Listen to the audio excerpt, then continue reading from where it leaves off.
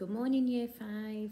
Um, just checking in to say hello and also to share with you how disappointed and grumpy I am today.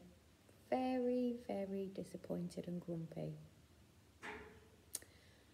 And that's because all those children who did that baking and I didn't get one taste. Not even a tiny little taste. And we all know how much I love cake. And then obviously the lasagna. Lasagna is one of my favourites. So I'm very, very sad this morning. So maybe over the weekend I'll have to bake myself happy again and just shove some more cake in because that's all we can do right now. Do things that make us happy. Anyway, uh, just wanted to say how pleased I am with all your work uh, this week. Um, you're all doing absolutely amazing um, and I'm really, really proud. Um, a lot of you, I know uh, Jacob Millwood, he's been working really, really hard on his Hit the Button.